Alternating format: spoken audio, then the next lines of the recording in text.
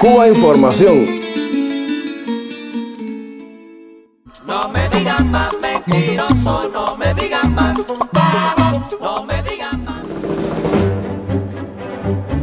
Julie, la película de Iciar Boyaín, presentada recientemente en el Festival Internacional de Cine de San Sebastián, retrata la vida de Carlos Acosta.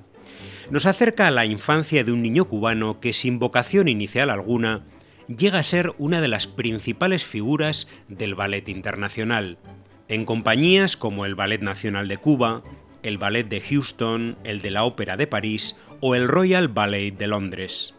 Pero Julie cuenta una historia, no es un film político, algo que parece no ha sido del agrado de medios como el diario español ABC, que protestaba por sus pocas referencias y poco claras a la situación política y social de Cuba. Lo hacía en un texto que analizaba también el film Alpha The Right to Kill, ambientado en el narco y la marginalidad de Filipinas. Pero en este caso, qué curioso, no exigía la película referencias a la situación política y social del país asiático. En su afán por denostar a Cuba, el periodista de ABC llegaba al ridículo. Decía que Julie fue rodada en una Habana hermosa antes de que el tiempo y la revolución hicieran mella en la carrocería de edificios y coches. Algo alucinante porque la película no fue rodada antes de la Revolución, sino el año pasado y está ambientada en La Habana de los años 80 y 90. Para este y otros diarios españoles, lo relevante de la historia es la infancia de miseria y pobreza que vivió el bailarín Carlos Acosta, como leemos en El Mundo.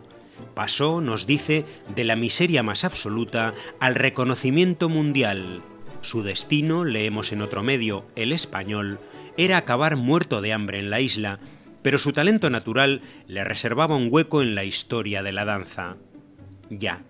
¿Y en qué otro país de América Latina y del tercer mundo, donde la miseria y el hambre no son exageraciones de un periodista, ocurre que un niño negro, de un barrio humilde, tras ser formado gratuitamente en la Escuela de Arte del Estado, se convierte en estrella del ballet internacional y ya en su madurez decide regresar a su tierra para crear en colaboración con el Estado que lo formó, una compañía y una escuela de danza. Y es que Cuba, en palabras del propio Carlos Acosta, es el país del arte, de la danza, y lo es porque, nos explica, cuenta con un sistema que forma constantemente bailarines formidables de clase mundial. Acosta Danza, la compañía que instaló en La Habana en 2016, con el apoyo del Ministerio de Cultura de Cuba y del Teatro Shuttleswell de Londres, integra y forma a numerosos jóvenes y se suma a la obra de otras compañías cubanas de gran trayectoria como el Ballet Nacional o Danza Contemporánea de Cuba. Pero recordemos, Julie es solo una excelente película, un bello relato que nos habla de talento, sacrificio, nostalgia, amistad y superación. Por ello, críticos de cine, ¿les parece si no hablamos de política?